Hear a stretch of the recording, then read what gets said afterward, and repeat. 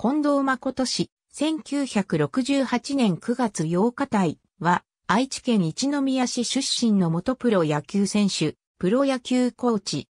現在は中日ドラゴンズのスカウトを務める。現役時代前半は本名を登録名にしていた。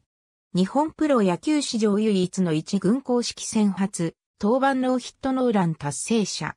息子の近藤博士元も元プロ野球選手で、プロ生活を中日で全うした後に、2020年からマシと同じく球団職員に転じている。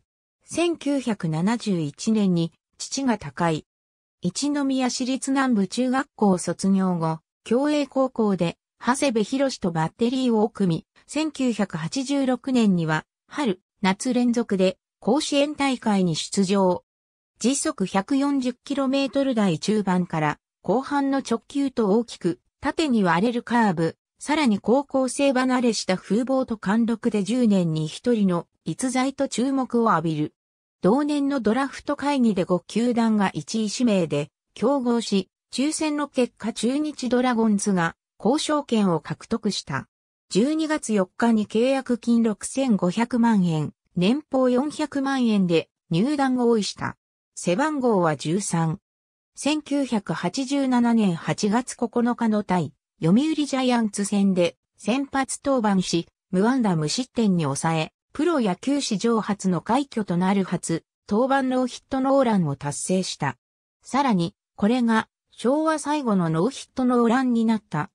3試合目の登板となった同23日の名古屋球場の阪神戦でも1、安打で完封勝利を挙げ、4試合3勝0敗で8月の月間 MVP を受賞。18歳11ヶ月での月間 MVP は史上最年少記録。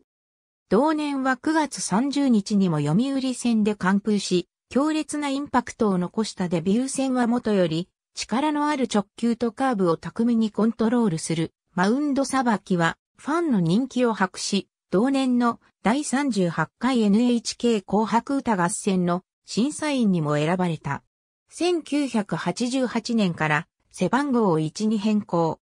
先発の柱としてオールスターゲームまでに7勝を挙げるが、この頃から肩ひいちの故障に悩まされ始め、オールスターゲーム後は1勝に終わった。左肩を故障した当初は自覚症状がなく、練習を見ていたコーチに急速の低下を指摘されて、初めて故障による体の異変に気づいたという。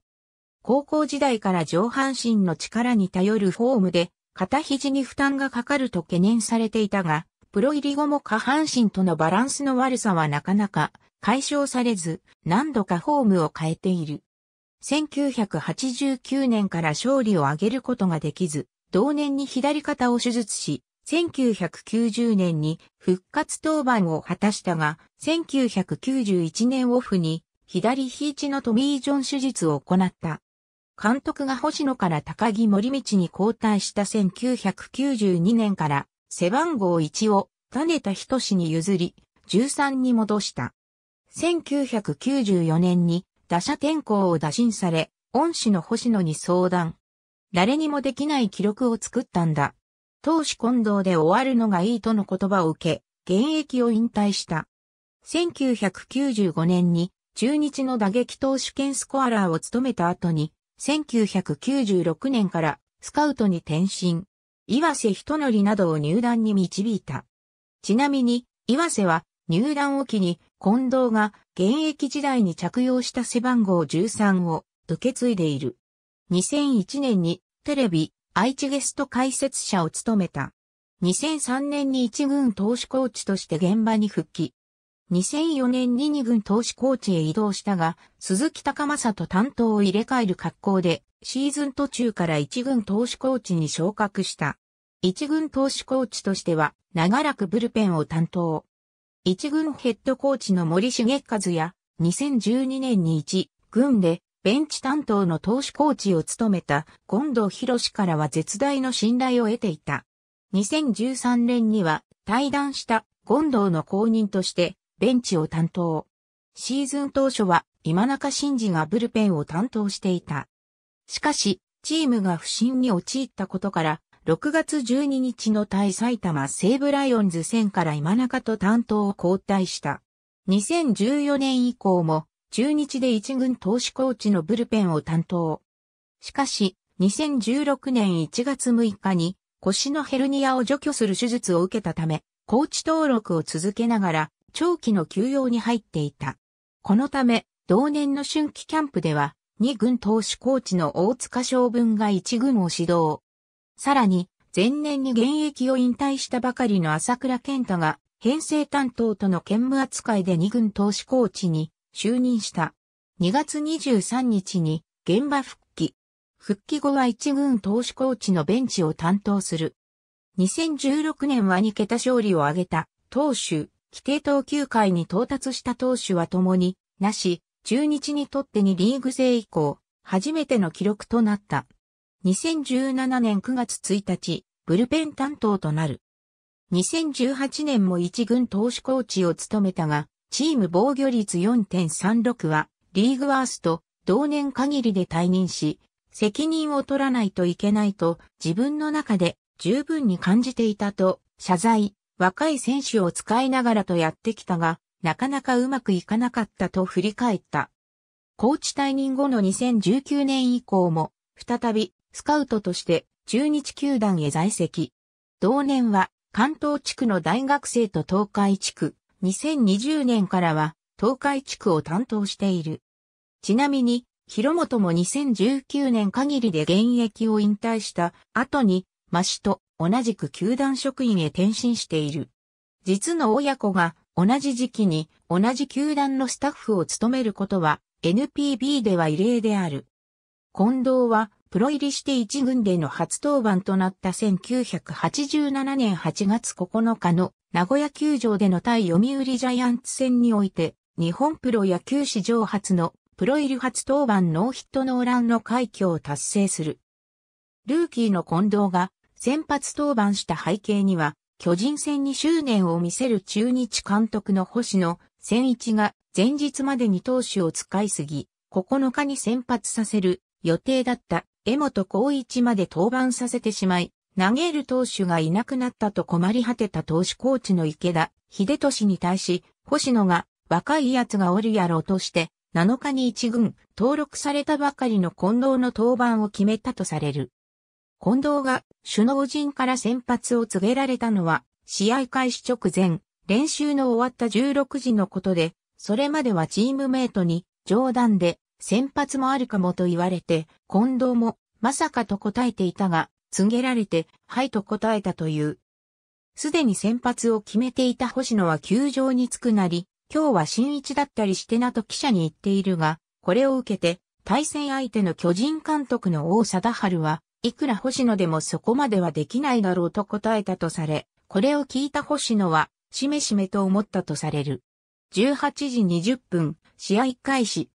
先頭打者、駒田徳弘への初球は144キロのボール球となり、それを駒田がファールにして、緊張が取れたためか、カーブと速球で駒田を3球三振に仕留めている。1回裏、中日は、巨人先発の宮本は力、ゲイリーの敵地だと、落合博光の2乱本塁打により3点を先制。3回表、前日本塁打を打っていた山倉和弘にこの日巨人初めての出塁となる死球を出すが崩れずに抑えている。5回終了時にチームメイトの石井明夫に今日はヒット打たれてないと言われてやってやろうと覚悟を決めたとしている。石井は近藤の向こう気が強い性格を知っていたからあえて近藤に言ったとされる。7回表、二村徹の失策から一死一塁で4番、原辰則を迎えてこの試合最大のピンチとなったが、カウント1ストライクにボールから、キャッチャーのストレートの要求に、近藤は3度手を振りストレートを投げ、その後、腹を空振り三振に仕留めている。9回表、二人をいずれも三塁頃に打ち取って西にしたところで、この日30人目の打者となる、篠塚敏夫を迎える。2ストライク1ボールから外角いっぱいのカーブが決まり、見逃し三振に抑えて試合終了。思わずガッツポーズが出たと、近藤は述べている。スコアは6対0、試合時間2時間33分だった。この試合を近藤の母親が名古屋球場で観戦しているが、近藤の母親は試合当日に放送された CBC のサンデードラゴンズ内で、久野誠が先発がいないから近藤もあるかもと言ったのを見て、息子が登板するものと思い込み、急遽関係者に試合のチケットの手配を頼んだ。試合当日の巨人戦のチケットの入手は困難とされたが、偶然総合コーチの木又達彦のチケットがキャンセルになったことから、球場での観戦が実現したものである。近藤は、あれがなければもう少し投げられたのではとよく言われると述べ、でもあれがあるから覚えていてもらえると答えている。